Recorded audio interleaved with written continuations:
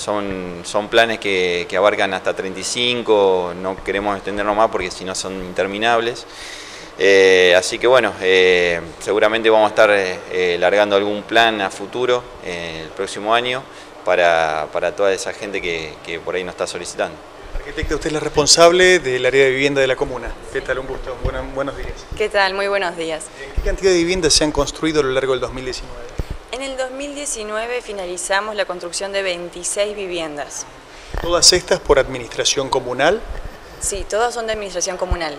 Eh, lo que sí es que obviamente cuando la gente sale sorteada, decide si va a construir el prototipo que está abonando por las cuotas o si desea hacer su proyecto particular.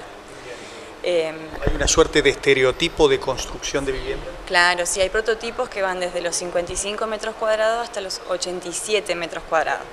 Las personas vienen, eligen cuál quieren y a partir de ahí el valor de la cuota y entran en el círculo del plan de vivienda.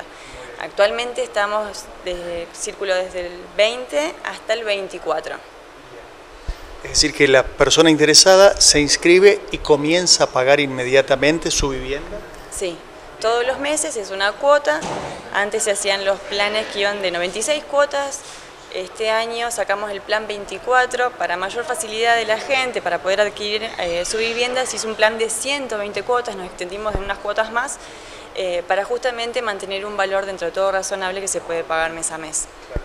Es decir, que una persona que se inscriba puede salir favorecido en un sorteo, como vimos recién ante escribano público, a los seis meses, o tal vez pueden pasar algunos años.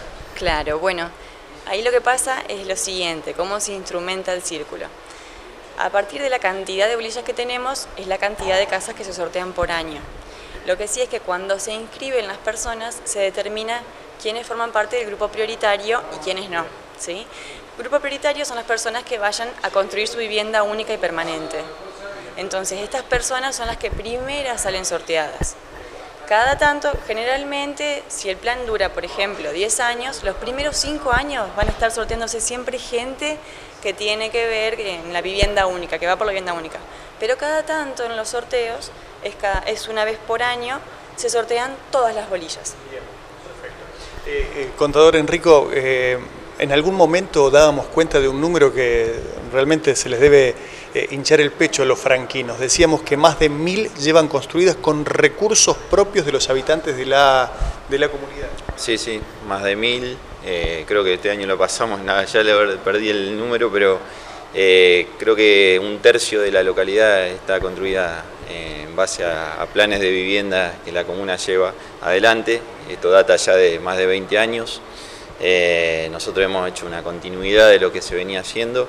Eh, por eso realmente para nosotros es, eh, bueno, en estos momentos difíciles, como te decía, porque siempre quiero recalcar eso, es una, es un aliciente para muchos eh, bueno, instaladores, albañiles, que saben que la, comuna siempre va a estar construyendo, cuando por ahí la parte privada bueno, mengua un poco el, tema económico y hace que, que, se afloje toda la actividad, nosotros vamos a estar seguramente construyendo y bueno, esto hace que, se, equilibre un poco la oferta y la demanda. a, esto hay, esto hay que sumarle los procrear que se hicieron oportunamente con recursos del Estado Nacional o los planes del Estado Provincial en, Fonavis o, viviendas en lotes propios. Exacto, esto hay que sumar toda esa, eh, esa, eh, que viene por fuera por la parte eh, hipotecaria que, hace que, también se sume a, los planes que, que, bueno, el Estado Nacional, el Estado Provincial también pueda llevarse adelante. Estos últimos años realmente hemos tenido muy poca actividad en el, plan, el plano nacional, esperemos que resurjan un poco lo que es eh, el, crédito hipotecario, Procrear, como usted decía, o, lo que son Fonavi, que son de la provincia, que, también eh, se puedan empezar a construir de esa forma, porque hay muchas familias que tal vez eh, con la cuota que se cobra en la comuna no alcanzan a poder llegar y bueno, necesitan sí o sí de, estos tipos de planes porque evidentemente estamos hablando de cuotas mucho más, más chicas.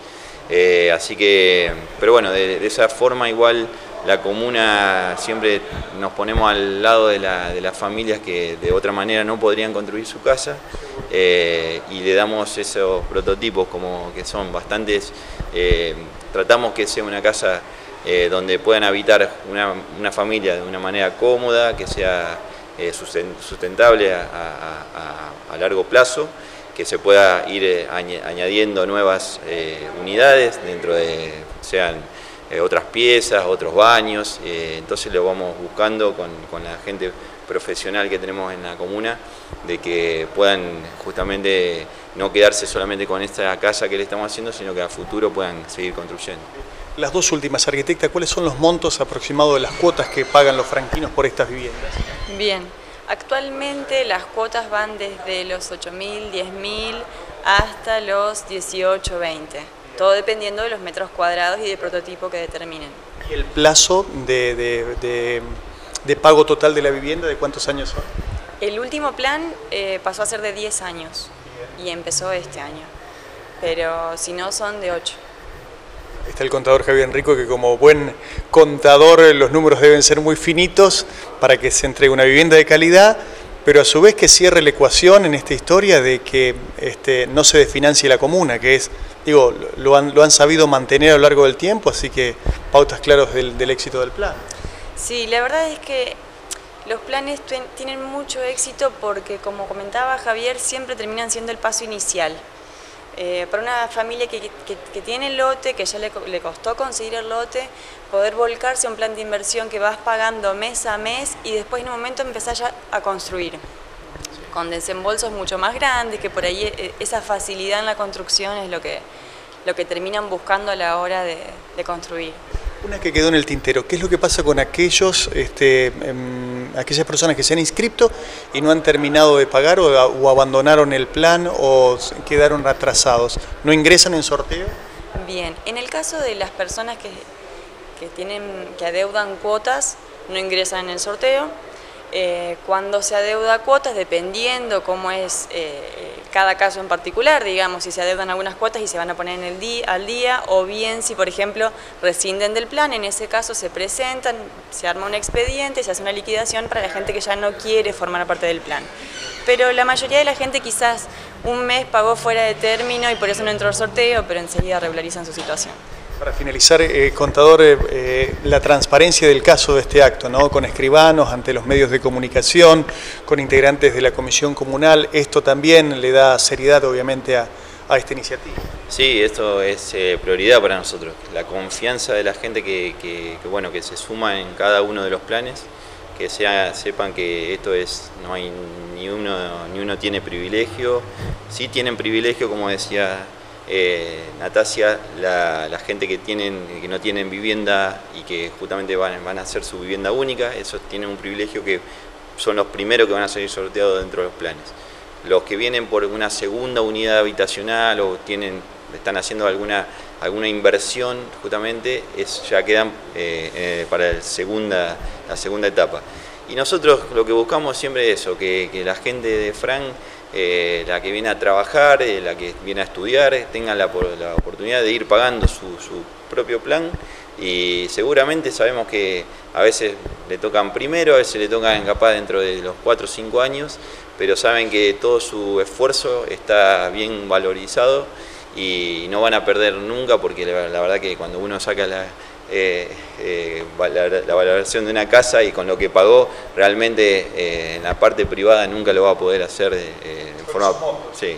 Así que nosotros siempre trabajamos en bajar los costos, ser eficientes, bueno, en comprar en cantidad, comprar en, bueno, siempre tratando de comprar en, la localidad con, con la parte de los corralones locales y mano de obra local, por supuesto. Y en ese sentido creo que todos hacemos un esfuerzo para que, bueno, el resultado sea la, vivienda y para una familia que realmente de otra manera no podría solucionarlo.